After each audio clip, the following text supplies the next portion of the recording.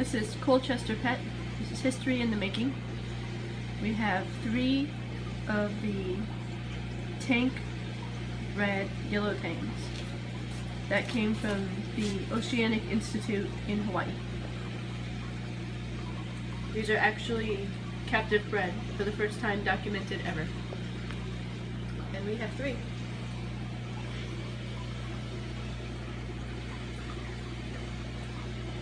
We have them in this 150 and we are going to release them now. They're all acclimated.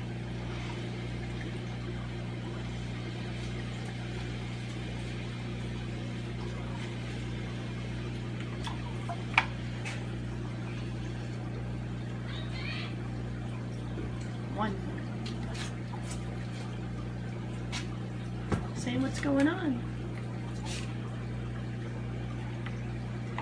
Here's a friend. Two. Two yellow tangs.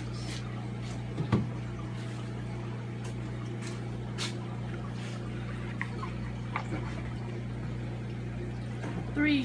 Three yellow tangs. Look at that.